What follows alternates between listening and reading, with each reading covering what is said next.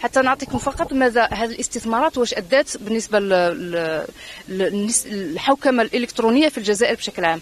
مؤخرا في شهر جويليا الأمم المتحدة المصالح المختصة للأمم المتحدة كانت نشرت آخر دراسة في 2018 حول الحوكمة الإلكترونية في العالم فيها ترتيب الدولي الجديد. آخر مرة كان في 2016 سنتين من بعد أي هذه السنة نشروا الترتيب الجديد وين الجزائر تقدمت ب 20 مرتبة في التصنيف الدولي.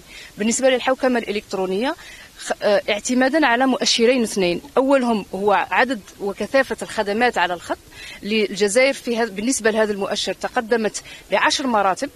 أما بالنسبة للمؤشر الثاني واللي هو البنية التحتية للاتصالات الجزائر تقدمت خلال سنتين ب 30 مرتبة.